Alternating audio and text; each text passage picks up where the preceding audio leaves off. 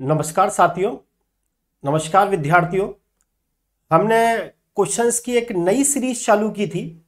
मैंने जो बोर्ड ने मॉडल पेपर जो चालू किए हैं, उनकी सीरीज़ स्टार्ट की थी, जिसके अंदर मैंने आपको जो पार्ट ए बनता है, उससे रिलेटेड क्वेश्चंस करा दिए थे।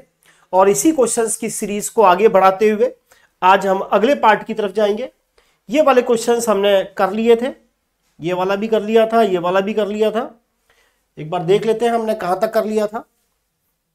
हमने क्वेश्चन नंबर क्वेश्चन नंबर 16 तक 17 भी हो गया था 18 भी हो गया था 19 20 आज पार्ट ब चालू करेंगे। आज हम पार्ट ब स्टार्ट करेंगे। पार्ट ए हमने कर लिया था। थोड़ा सा मैं बाई लैंग्वेज में बोलूँगा, दोनों लैंग्वेज में बोलूँगा, जिससे स्टूडेंट्स को फ़ायदा हो।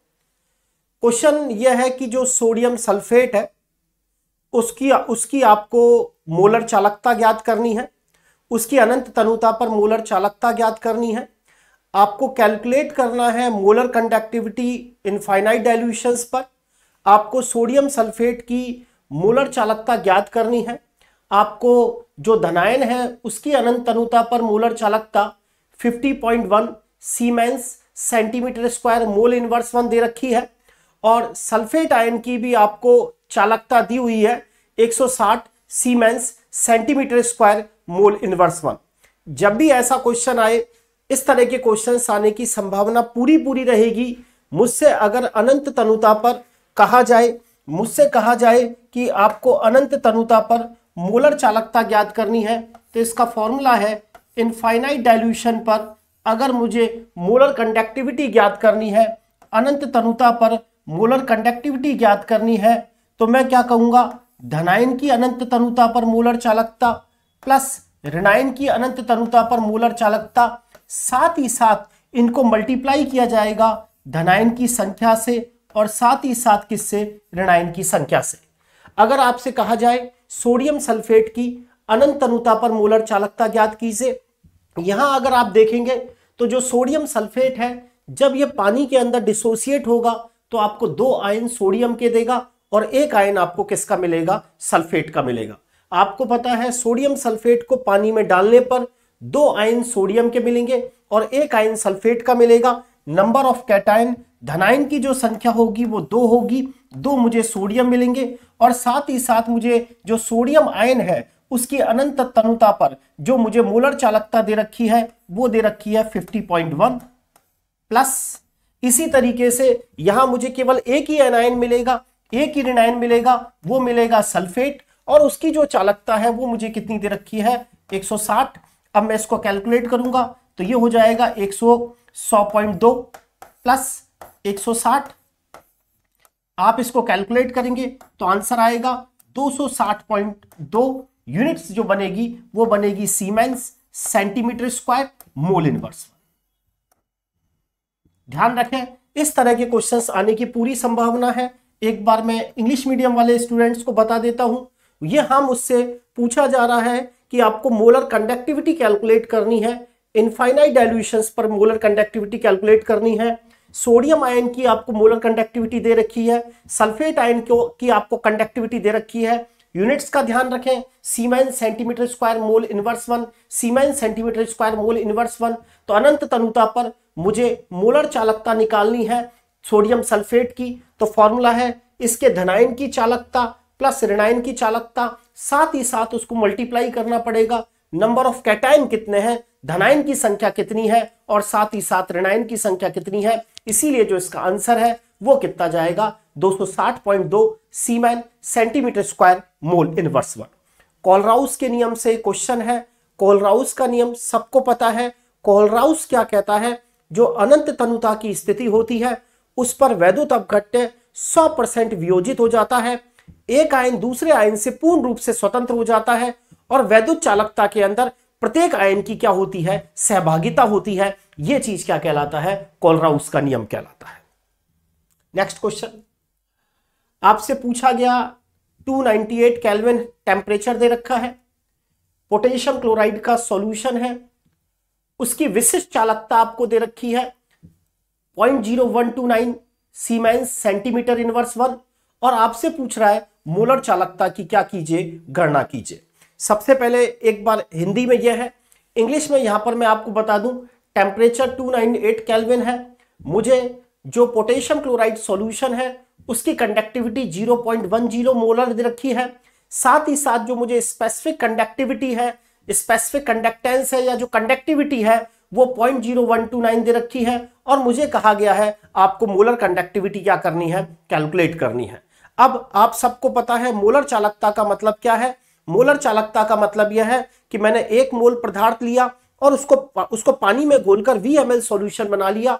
तो वी एम एल विलियन जिसमें जिसमें वैद्युत अपघट्य का एक मोल घुला हो, उसके कारण जो चालकता उत्पन्न होती है उसी चालकता को हम क्या कहते हैं? मोलर चालकता। और मोलर चालकता निकालने का जो फॉर्मूला है, वो आपको याद होना चाहिए। मोलर चालकता निकालने का formula kappa into thousand upon molarity होता है। Kappa into thousand upon concentration या क्या होती है? मोलरिटी होती है।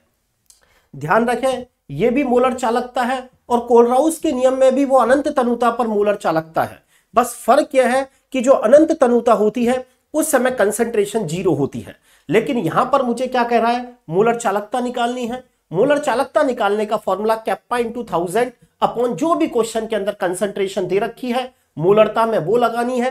तो यहाँ अगर आप कैप्पा की वैल्यू देखेंगे तो कैप्पा की वैल्यू मुझे दे रखी है point zero one two nine into thousand और साथ ही साथ जो पोटेशियम क्लोराइड का जो विलियन है, उसकी जो कंसेंट्रेशन मुझे दे रखी है, वो ज़ीरो पॉइंट वन ज़ीरो है। इसको कैलकुलेट कर लेंगे और जो यूनिट जो भी आएगी siemens centimetre square mole inverse one इसकी क्या आएगी? यूनिट आएगी, क्योंकि मोलर चालकता की जो यूनिट्स है, वो यही होती है siemens centimetre square mole inverse one ठीक है? नेक्स्ट क्वेश्चन 23 के अंदर पार्ट फ़र्स्ट देखें। आपसे कहा गया मैथिल क्लोराइड है।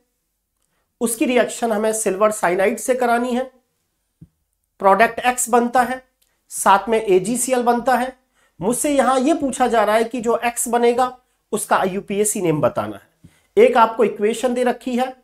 बोर्ड का जो क्वेश्चन नंबर 23 है, उसका पार्ट फ़र्स्ट देखें। निम्नलिखित समीकरण में यौगिक एक्स की आपको पहचान करके आईयूपीएसी नेम बताना है। यह आपको पता है मैथिल क्लोराइड है। इसकी रिएक्शन सिल्वर साइनाइड से है। अगर पोटेशियम साइनाइड से होती, तब तो एल्किल साइनाइड बनता है। लेकिन सिल्वर साइनाइड आपको पता है, सहसयोजक कंपाउंड है। फाजांस का यहाँ नियम लगता है दनायन रिनायन को बहुत ज़्यादा ध्रुवित करता है। उसके कारण इसके अंदर सहसयोजक लक्षण उत्पन्न हो जाते हैं। आप कहेंगे, अगर यहाँ पोटेशियम साइनाइड होता, तब तो C S three C N बनता। लेकिन यहाँ पर मेरी रिएक्शन सिल्वर साइनाइड से है। तो मैं कहूँगा मैथिल क्लोराइड की रिएक्शन अगर सिल्वर साइनाइड से कराई जाए तो आपको पता होगा इस समय जो प्रोडक्ट बनता है, वो बनता है methyl isocyanide C S three NC methyl isocyanide बनता है मैथिल आइसोसाइनाइड बनता है, और साथ ही साथ क्या बनता है? एजीसीएल बनता है। हमसे यही पूछा है उसने कि जो एक्स है, वो क्या है? आप कहोगे एक्स मैथिल आइसोसाइनाइड है, लेकिन यहाँ हमसे उसका आईयूपीएसी नेम पूछा है तो मैं आपको बता दूँ आईयूपीएसी आइसोसाइनाइड को कार्बिल एमीन कहती है तो आईयूपीएसी नेम बना, इसको बोला मैथिल इसको बोला कार्बिल एमीन, नाम बना मैथिल कार्बिल एमीन। जो आइसोसाइनाइड है, उसी को आईयूपीएसी सिस्टम के अंदर कार्बिल एमीन कहा जाता है। तो आप बोर्ड पे लिखेंगे, इसका जो आईयूपीएसी नेम है, वो methyl carbyl methyl carbyl amine है। तो आईयूपीएसी नेम, ये मैथिल इस चीज़ को कहा कार्बिल एमीन, सुना भी होगा कार्बिल एमीन परीक्षण आइसोसाइनाइड को कार्बिल एमीन कहते हैं। इसीलिए इसका यूपीएससी नेम बना मैथिल कार्बिल एमीन इसका यूपीएससी नेम होगा।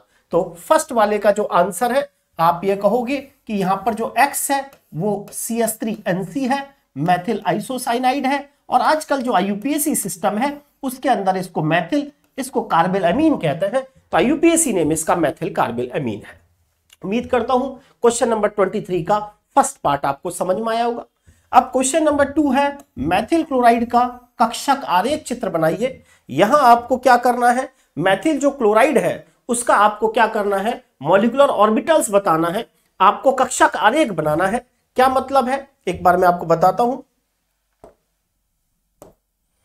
मैथिल क्लोराइड आप ध्यान से देखें, ये कार्बन इसके साथ तीन तो हाइड्रोजन जुड़े हुए हैं, और एक आपको पता है क्लोरीन जुड़ा हुआ है। अपन इसको ऐसे कर लेते हैं एक बार वापिस।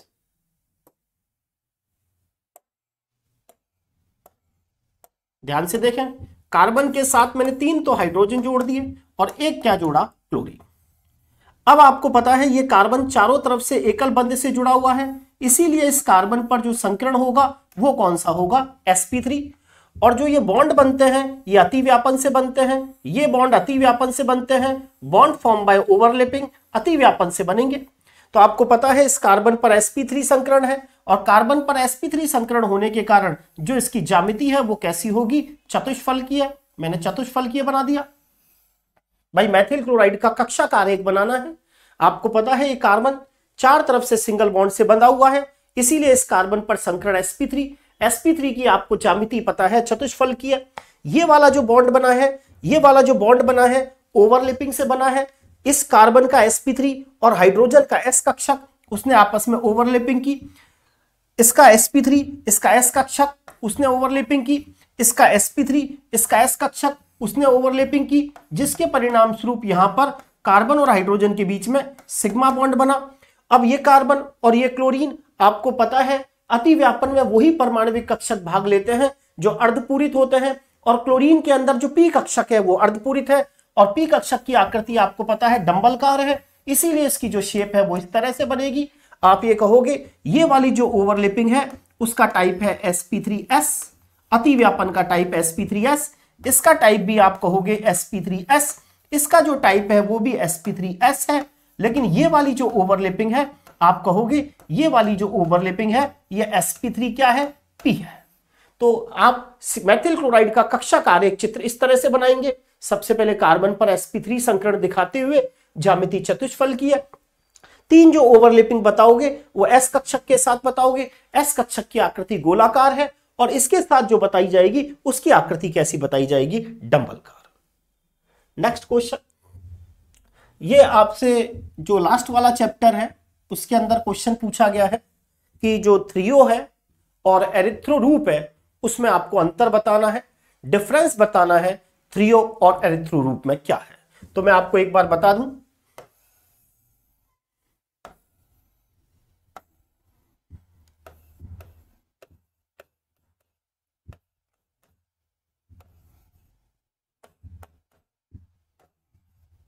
ये वाला कार्बन की रेल है, ये वाला कार्बन की रेल है सी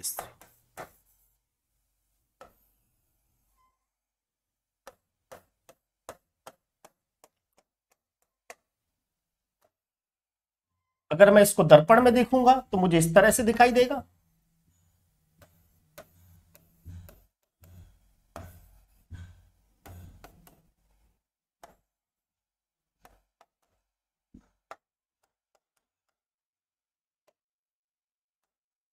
ये जो फॉर्म है, ये वाली जो फॉर्म है, ये एरिथ्रो है।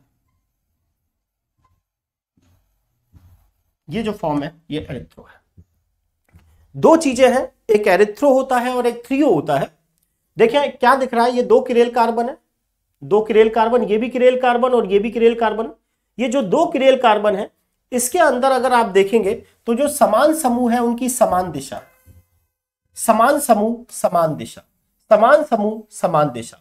आप ये कहेंगे कि जो ये किरेल कार्बन है, ये जो दो किरेल कार्बन है, इनमें उपस्थित जो जो ये दो किरेल कार्बन है, इनसे जुड़े जो समान समूह है अगर उनकी दिशा एक हो तो उस फॉर्म को तो एरिथ्रो कहा जाता है। लेकिन किरेल कार्बन से जुड़ने वाले जो दो समान समूह है, अगर उनकी दिशा विपरीत हो तो वो चीज़ आपस में क्या कहलाती है? थ्रियो कहलाती है। आप डेफिनेशन में ऐसे कहोगे किरेल कार्बन से जुड़ने वाले किरेल कार्बन से जुड़ने वाले, आप ये कहोगे किरेल कार्बन है। दो क्रेल या किरेल कार्बन से जुड़ने वाले दो समान समूह अगर समान दिशा में हो, तब तो हम उनको क्या कहते हैं? एरिथ्रो कहते हैं। लेकिन अगर ये विपरीत दिशा में होते तो उन्हें क्या कहा जाता? थ्रियो कहा जाता। थ्रियो मैं एक बार आपको बताता हूँ। थ्रियो कैसे बोलते हैं? इसी चीज़ को वापस देखें।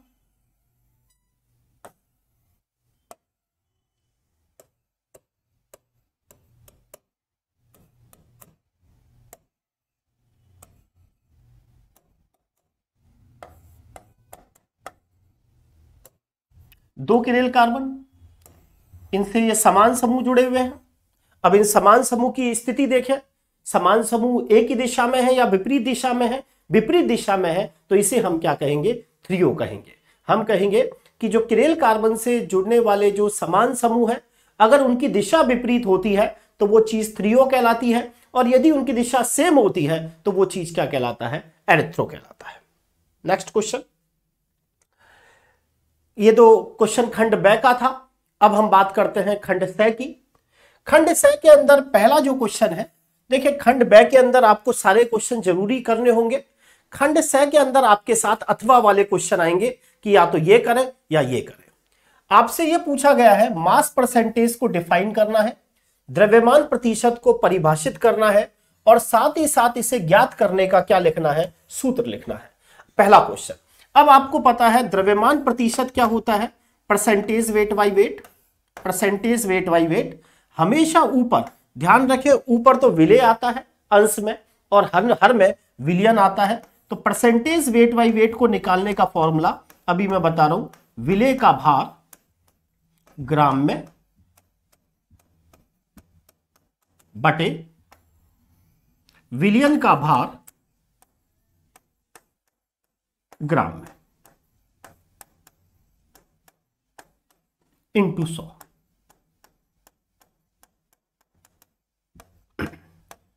ये परसेंटेज वेट बाई वेट का निकालने का फॉर्मूला होता है। अब हमसे द्रव्यमान प्रतिशतता की परिभाषा पूछी गई है। परसेंटेज वेट बाई वेट की परिभाषा पूछी गई है। यह सांद्रता को व्यक्त करने का एक तरीका है। तो सबसे पहले हमेशा एक बात क्लियर ध्यान रखें। कि सांद्रता के अंदर हम ये बताते हैं कि विलियन में विलय की कितनी मात्रा है। सांद्रता का मतलब ये होता है कि जो आपने विलियन बनाया है, उसके अंदर विलय की क्या मात्रा है। जब भी परसेंटेज आ जाए तो समझ लें आंसर क्वेश्चन के अंदर, जब भी परसेंटेज आ जाए तो परसेंटेज का मतलब सौ से होता है। इसका मतलब यह है कि आपने एक सौ ग्राम विलियन बनाया है। द्रव्यमान प्रतिशतता को कैसे परिभाषित करेंगे? हम कहेंगे कि ये जो विलियन है, वो 100 ग्राम है, क्योंकि परसेंटेज का मतलब ही 100 से होता है। कि 100 ग्राम विलियन के अंदर जो विलय की उपस्थित जो ग्राम में मात्रा है, वही चीज़ क्या कहलाती है? द्रव्यमान प्रतिशतता कहलाती है। आप कहेंगे, यही चीज़ मास परसेंटेज कहलाता है। हम कहेंगे कि एक हमने 100 ग्राम का विलियन बनाया, उसके अंदर विलय की जो मात्रा उपस्थित है, वही चीज़ क्या कहलाती है? द्रव्यमान प्रतिशत कहलाता है। परसेंटेज वेट बाई वेट अंश में विलय आएगा, नीचे विलियन आएगा, विलय की मात्रा ग्राम में बटे विलियन की मात्रा, विलय सॉरी विलय का विलय का भार ग्राम में या विलय की मात्रा ग्राम में? इसको और अच्छी तरह से अपन ऐसे लिखें तो ज़्यादा अच्छा रहेगा। विलय की मात्रा ग्राम में बटे विलियन का भार ग्राम में इंटू क्या कर सकते हैं? सौ। तो ये चीज़ क्या कहलाएगी? परसेंटेज वेट बाई वेट कोई दिक्कत नहीं, विलय का भार ग्राम में ये भी चलेगा, बटे विलियन का भार ग्राम में इंटू सौ। ये चीज़ क्या कहलाती है? Percentage weight by weight question number two हमसे पूछा गया एग्ज़ाम्पल ऑफ़ आइडियल सोल्यूशन आपको आदर्श विलियन के कोई दो उदाहरण बताने हैं। तो हम क्या कहेंगे? मेरे हिसाब से ये डेफिनेशन वापस सुन ले। 100 ग्राम का हमने विलियन बनाया। उसके अंदर विलय की जो ग्राम में मात्रा है, वो चीज़ मास परसेंटेज या द्रव्यमान प्रतिशतता कहलाती है। विलय की मात्रा या विलय का भार ग्राम में, बटे विलियन का भार ग्राम में इंटू क्या करेंगे? सौ। सेकेंड चीज़ हमसे पूछा गया, आदर्श विलियन के कोई दो उदाहरण बताइए। आपको पता है एग्ज़ाम्पल ऑफ़ आइडियल सॉल्यूशन बताना है। आदर्श विलियन की सीधी सी परिभाषा यह है, विलय और विलायक आपको लगेंगे कि दोनों एक ही परिवार के हैं। जैसे क्या मतलब है? आदर्श विलियन का पहला एग्ज़ाम्पल मैं बात करूँ, मैं कहूँगा normal hexane plus normal heptane यानी आपने विलियन बनाया, जिसमें एक विलय है, एक विलायक है तो हेक्सेन और हेप्टेन का जो विलियन होता है, वो आदर्श विलियन है। हेक्सेन भी एल्केन है हेप्टेन भी एल्केन है। दोनों अगर एल्केन एल्केन आपको दिख रहे हैं तो ये विलियन क्या कहलाएगा? आदर्श विलियन कहलाएगा। आप बना सकते हैं मैथेनॉल आपने काम में ले लिया, साथ में आपने एथेनॉल काम में ले लिया मैथेनॉल और एथेनॉल को मिलाया तो जो विलियन बनेगा, वो भी विलियन क्या कहलाएगा? आदर्श विलियन कहलाएगा। ये भी एल्केन है, ये भी अल्कोहल है, ये भी अल्कोहल है, आदर्श विलियन है। एक तीसरा एग्ज़ाम्पल और अपने दिमाग में रख लें बेंजीन। बेंजीन हाइड्रोकार्बन है, साथ में टोलुइन बेंजीन और साथ में क्या है टोलुइन ये विलियन क्या कहलाते हैं? आदर्श विलियन कहलाते हैं। बेंजीन प्लस टोलुइन का बना विलियन आदर्श विलियन कहलाता है। अगला क्वेश्चन। हमसे आयतन प्रतिशतता पूछी गई है।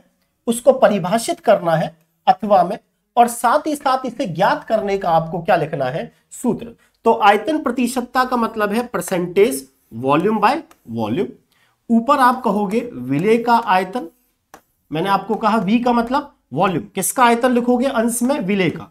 विलय का आयतन एमएल में बटे विलियन का आयतन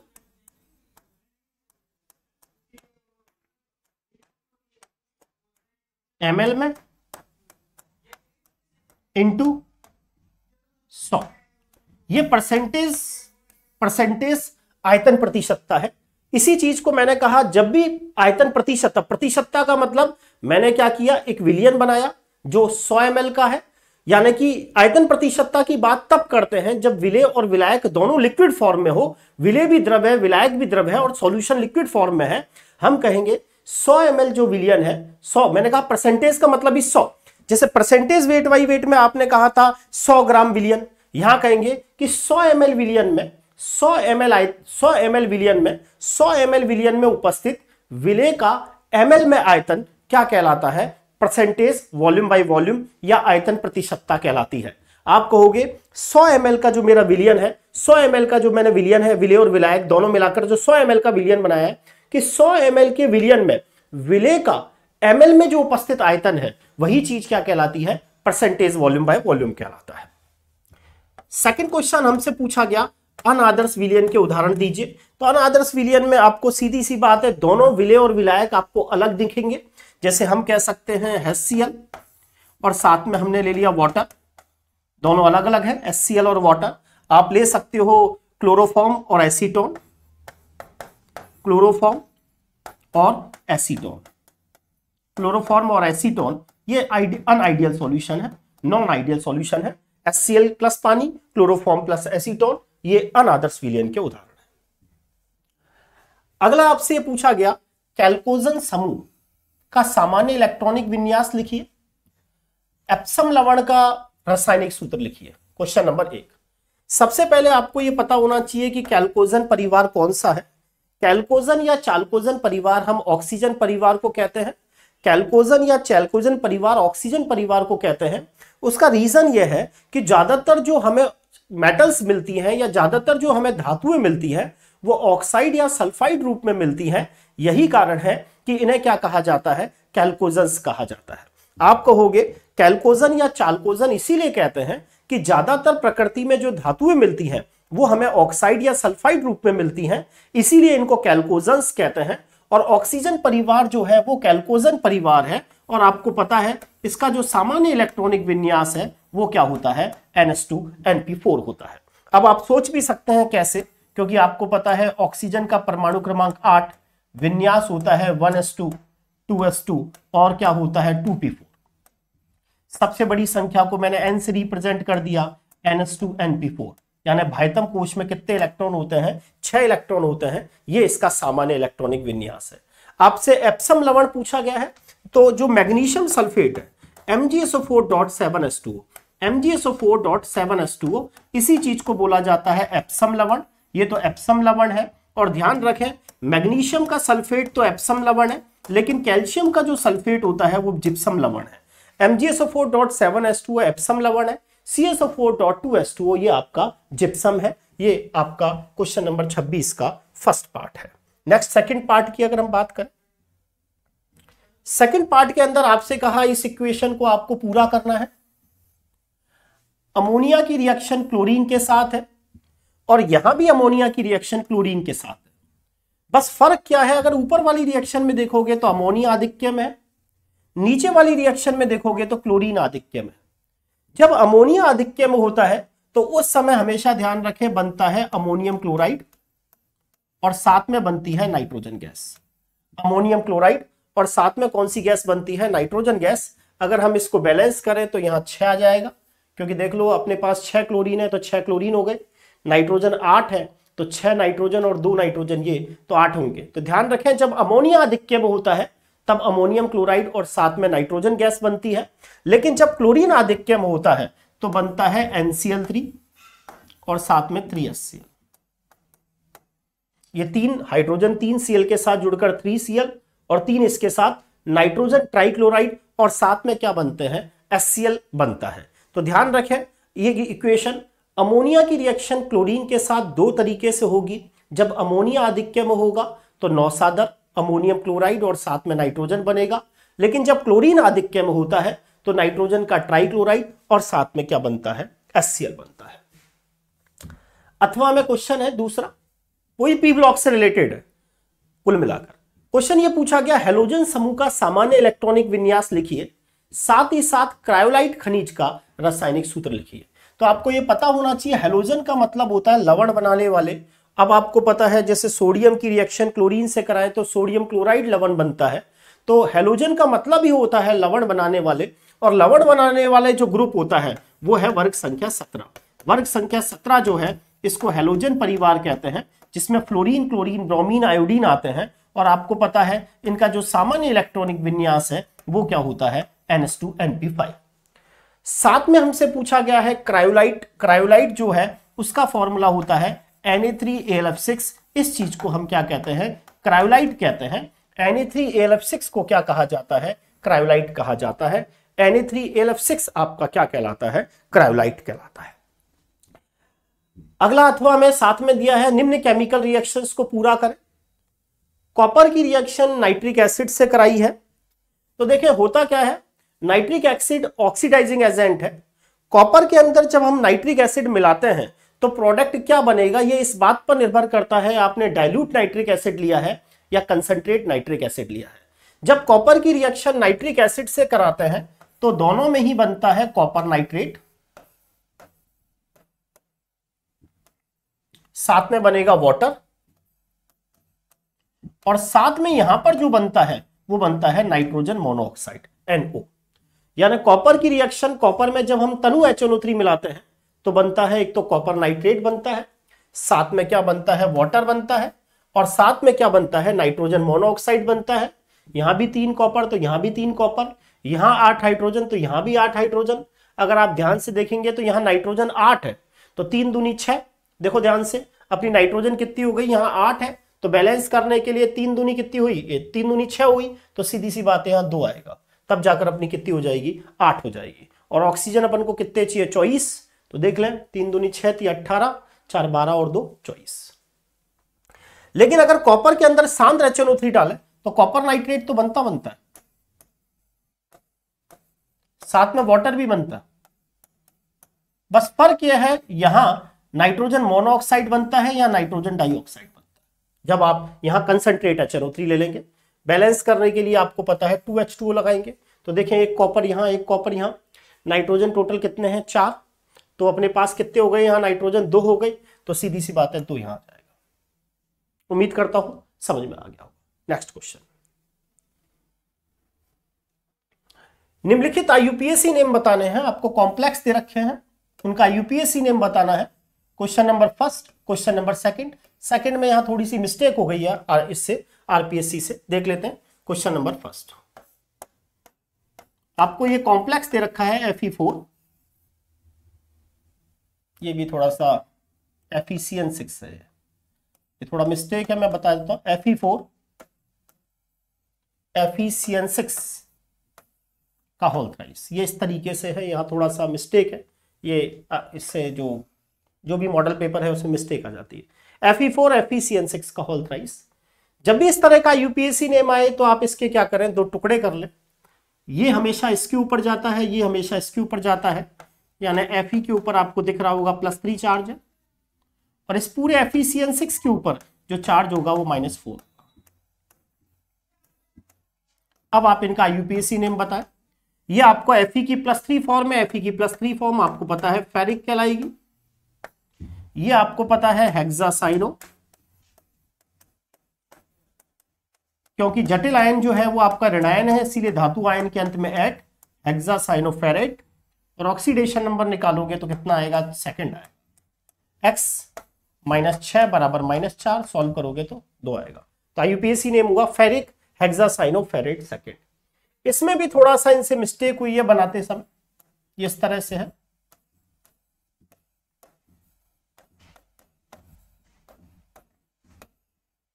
सही रूप में ये यू होना चाहिए।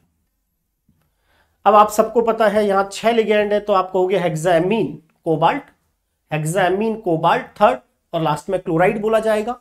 Hexammine cobalt hexammine cobalt third chloride hexa ammine cobalt third chloride ठीक है इसी के अंदर पार्ट नंबर सेकंड देखें। पार्ट नंबर सेकंड में आपको दे रखा है ये कॉम्प्लेक्स और आपसे इसकी ज्योमेट्री पूछ रहा है। ज्योमेट्री का डायग्राम बनाना है। नाम आप बना देंगे हेक्सा फ्लूरो यहाँ कोबाल्ट नहीं बोल के कोबाल्टेट बोला जाएगा। कोबाल्टेट और इस कोबाल्ट पर ऑक्सीडेशन नंबर आपको पता है, तीन आएगा। एक्स माइनस छ बराबर माइनस तीन। तो यहाँ एक्स जो कोबाल्ट है वो प्लस थ्री में है। आपको पता है, नाम बोलेंगे हेक्सा फ्लूरो कोबाल्टेट थर्ड संकुलायन आपको दे रखा है। इसकी जामिति बनानी है। तो सबसे पहले तो आप समन्वयी संख्या ही देख लें। यहाँ समन्वयी संख्या छह है। समन्वयी संख्या अगर छह है तो या तो संकरण होगा sp3d2 या संकरण होगा d2sp3 क्योंकि यहाँ समन्वयी संख्या छह है। क्योंकि जब समन्वयी संख्या छह है तो संकरण sp3d2 होगा या d2sp3 होगा।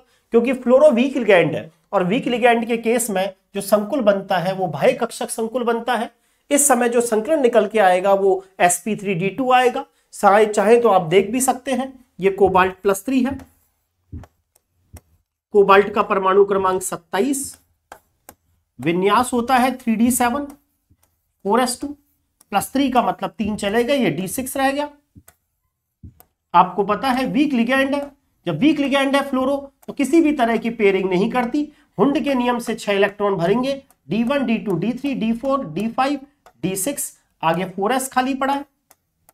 उसके आगे 4p खाली पड़ा है। और उसके आगे आपको पता है 4d खाली पड़ा है।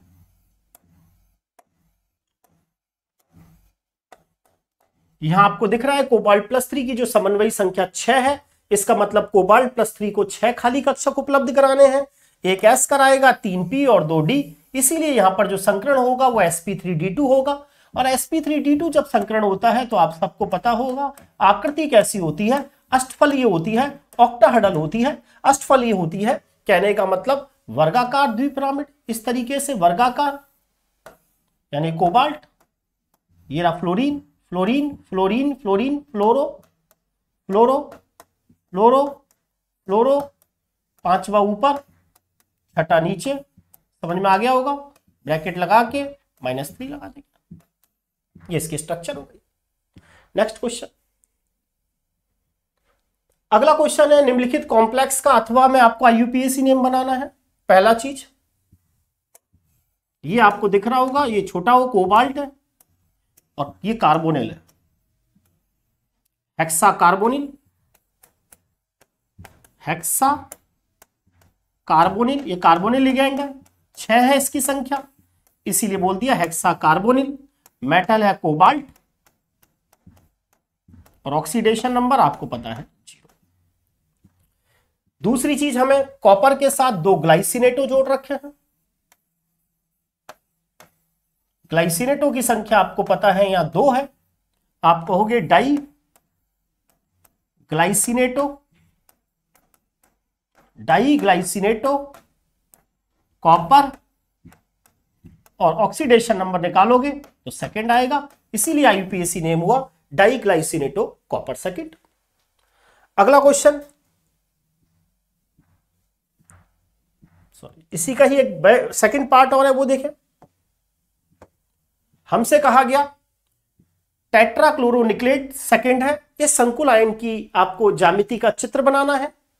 ध्यान से देखें, निकिल एक्स चार क्लोरीन के कारण माइनस चार, बीज गणित योग माइनस दो, यानी निकिल के ऊपर जो है ऑक्सीकरण अंक आएगा वो प्लस टू है, यहाँ एन आई प्लस टू है। परमाणु क्रमांक अट्ठाईस, विन्यास three D eight four S two दो इलेक्ट्रॉन चले गए डी एट विन्यास है। क्लोरो आपको पता होना चाहिए वीक लिगैंड है। वीक लिगैंड है तो हमें क्या करना है, हुंड के नियम से बनना है D one D two D three D four D five D six D seven D eight chloro weak ligand है तो पेयरिंग तो होगी नहीं। इसके आगे आपको पता है फोर एस खाली पड़ा है और साथ में क्या खाली पड़ा है? फोर पी यहाँ पर क्योंकि समन्वय संख्या चार है तो मुझे चार काली कक्षक उपलब्ध कराने हैं। तो ये चार खाली कक्षक उपलब्ध कराने का मतलब इसके अंदर जो संकरण होगा, वो sp3 होगा और sp3 जब संकरण होगा तो आपको पता है जो जामिति होगी, वो इस तरीके से कैसी होगी? चतुष्फल की होगी। ये जो फॉर्मूला है, ये किसका डायग्राम है? NiCl4 माइनस टू का नेक्स्ट क्वेश्चन रासायनिक इक्वेशन दे रखी है और आपको यह बताना है प्रोडक्ट क्या बनेगा। इसमें मिस्टेक है, क्योंकि सब चलता है। फ़र्स्ट में एक्चुअल में ये यूरिया प्रिपरेशन का मेथड है। एक्स वाई पहचानना है आपको। तो ये एक्चुअल में कैल्शियम साइनेमाइड है C A C N two इसकी रिएक्शन पहले हम H two S O four से कराते हैं। कैल्शियम प्लस सल्फेट के साथ जुड़कर बना लेता है कैल्शियम सल्फेट। और बनता है, जो दूसरा प्रोडक्ट बनता है, वो बनता है क्या? NH2Cl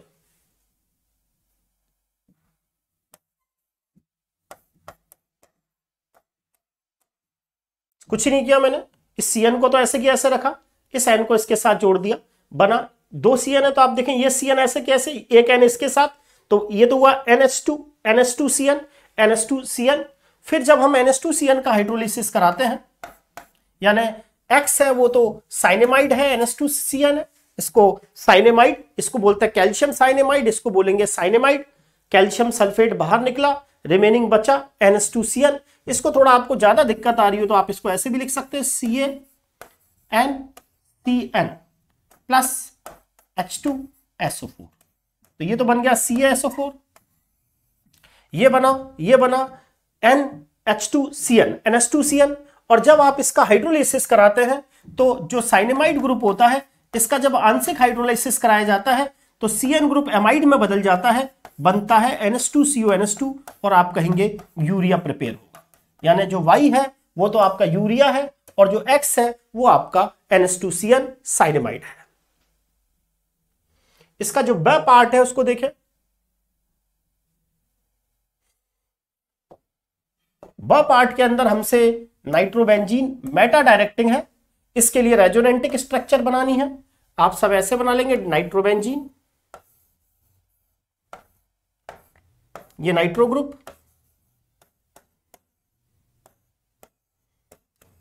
नाइट्रोजन से ऑक्सीजन खींचेगा, पाई इलेक्ट्रॉन तो ये पाई इधर शिफ्ट होंगे।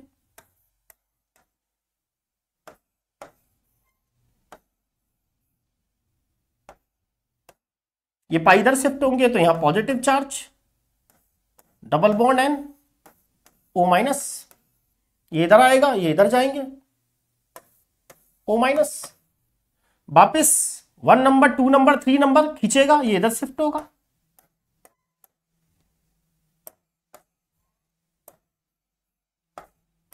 पैरा पोजीशन पर पॉजिटिव चार्ज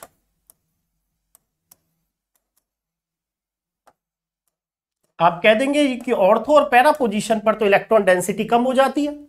और बेंजीन रिंग पर आपको पता है इलेक्ट्रो नहीं अटैक करता है। तो इलेक्ट्रो नहीं ऑर्थो और पैरा पोजीशन पर अटैक नहीं कर कर मेटा पोजीशन पर अटैक करेगा। वो इसीलिए करेगा क्योंकि यहाँ पर इलेक्ट्रॉन डेंसिटी रहती है। ऑर्थो और पैरा पोजीशन पर तो इलेक्ट्रॉन डेंसिटी क्या हो जाती है? अनुनाद के कारण कम हो जाती है। आगे आप बना लेंगे। अथवा में एथिलेमिन दिया है पोटेशियम परमैग्नेट दिया है एक्स बना रहे फिर उसका हाइड्रोलिसिस एसिडिक मीडियम में बना रहे एक्स और वाई की पहचान करवा रहा है। तो देखें ethylamine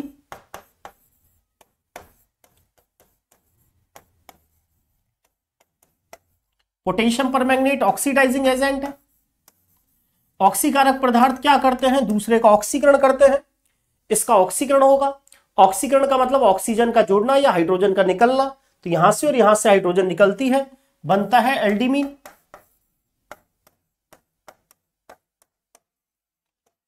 यह एल्डामीन बन जाता है एक्स आपका एल्डीमीन है, या एल्डामीन है। फिर आप इसका एसिडिक मीडियम में जब हाइड्रोलिसिस कराते हैं एल्डामीन का हाइड्रोलिसिस कराने पर यह वाला पार्ट एल्डिहाइड बनाता है और साथ में अमोनिया गैस बनती है। नेक्स्ट क्वेश्चन एनिलीन का एनिलीन ऑर्थोपैरा डायरेक्टिंग होता है। इसके लिए आपको इसकी अनुनादी संरचना बनानी है। बता देता हूँ कैसे। आप सबको पता है एनिलीन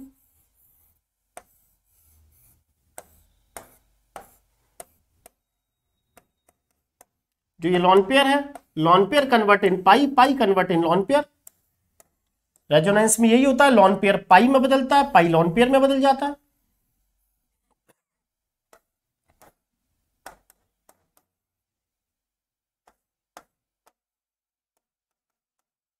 वापिस लॉन पेयर पाई में कन्वर्ट होगा, पाई लॉन पेयर में कन्वर्ट हो जाता है।